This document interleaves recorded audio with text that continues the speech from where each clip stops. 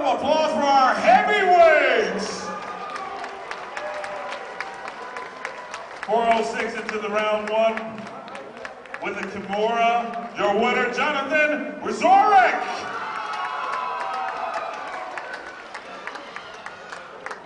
Good fight. Good fight. Round of applause for our two fighters, please. And also, we'd like to invite everybody now to the Cannon Brew Pub for the after party.